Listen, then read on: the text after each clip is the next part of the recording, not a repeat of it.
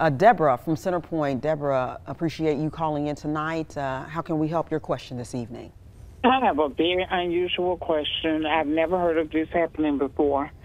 I have a very perfect credit score, 820. Someone ordered something on Amazon off of my credit card that is attached to the account. Amazon will have a credit card on your account. I didn't ask for this to happen. They put it on there and someone, all you have to do is swipe.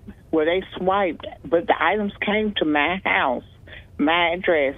I called them immediately and let them know that these items were here and I did not want them. Time passed by. This happened during COVID. And finally, we went through investigation through the credit card company and also through Amazon. And they determined that I was responsible for the items. I've never committed fraud. I am a person of great character and I have the most great credit score. Who, what kind of lawyer do I use? What steps do I take? Because now they're holding me responsible for these items, and they're more than eight hundred dollars. I still have the items. I don't want them. Wow, great question. Wow, Marcus.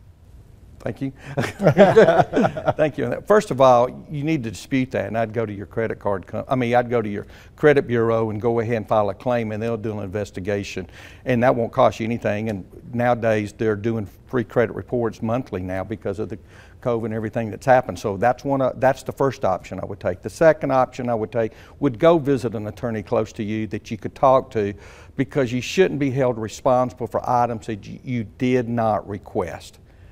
I think you would win that aspect from what you have relayed to us tonight on TV. But I think that's my second. Go ahead and call the credit, uh, credit bureau, make a claim that you did not get it. Don't let anything affect that credit score of over 800. It's something to be proud of. Obvious, Amazon or whoever it may be could have a negative impact and file something with the credit bureau, show you're late paying for something that you didn't even order. So my, like I said, call the credit bureau, then contact an attorney. There's no reason for you to be held responsible. And really, there's no reason for you to have to worry about it and call in something like that that should have been corrected by Amazon and the credit card company from the very beginning.